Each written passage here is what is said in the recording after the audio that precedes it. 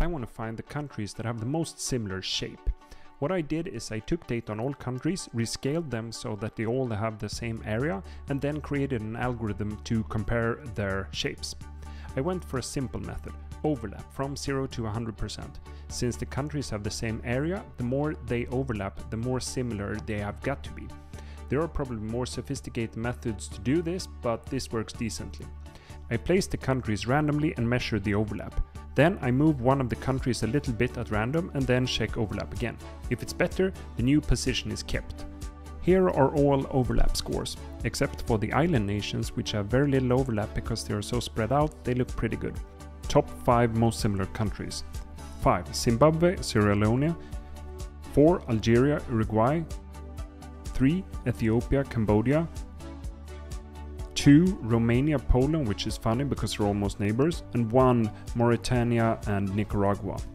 I made a top list of the least similar country pairs, and one country was on all of them among the larger countries, and that is Chile. It has such a weird shape and it can't really be matched with anything. I think the closest I got was Cuba.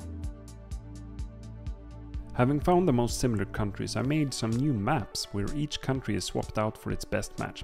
However, each country can only appear once and the larger countries get to pick first. First up is Europe. One of my favorites here is Denmark, which is replaced with China. Just look at how perfect it fits there. We only need to scale it down a little bit. Other great fits here are Lesotho instead of Germany and Germany instead of Switzerland. I also compared the American states to countries and you can see the results on the map here. I'm especially pleased with uh, the similarity between Kosovo and uh, Texas.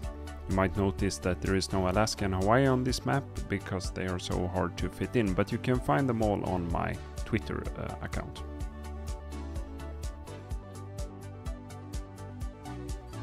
Lithuania is the reason why each country only can appear one time. It gets placed everywhere by the algorithm. It seems to be have a very flexible shape.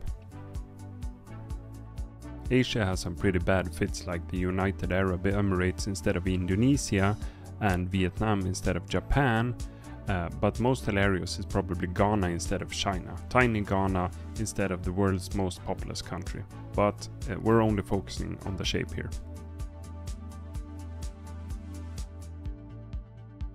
The final map of imposter countries is of Africa, where we see a lot of switching places.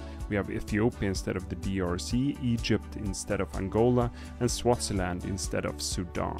We even have Greenland in there, and it's not a sovereign country, but uh, it got stuck in the data, and I'm too lazy to take it out now.